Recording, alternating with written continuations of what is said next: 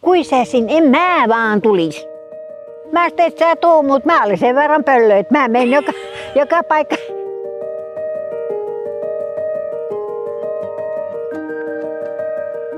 Ikäihmisille on tärkeää tarjota toimintaa ihan jo pelkästään yksinäisyyden ehkäisemiseksi. Seurakunnissa järjestetään viikkotoimintaa ja sitten toisaalta tapahtumia ja yksittäisiä retkiä ja useimmissa seurakunnissa kesäaikaan toteutetaan myös ikäihmisille suunnattuja leirejä. Eläkkeelle jäämisen jälkeen niin sitä oli vähän aikaa hiljaa ja sitten sitä miettii, että aha, tämäkö oli tässä ja sitten nyt olen täällä toisen kerran. Oikein mukava. Pääse kävelylle, jos on kivaa ja on kivat ihmiset ja saa hengenravintoa, saa laulaa, josta mä tykkään kauheasti. Ja sitten herkullinen ruoka.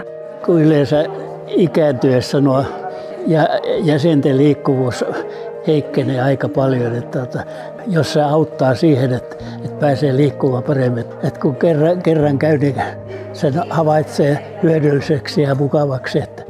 Diakonian toiminnoissa ikäihmisillä otetaan erityisesti huomioon tämä aivoterveys. Siihen liittyen on esimerkiksi tuolijumppaa, muistijumppaa ja ihan sellaista suloista seurustelun sakramenttia, eli sitä, että kokoonnutaan yhteen ja otetaan yhteinen teema käsittelyyn ja juodaan samalla kahvit. Täällä näkee ihmisiä, täällä kuulee erilaisia elämän kokemuksia.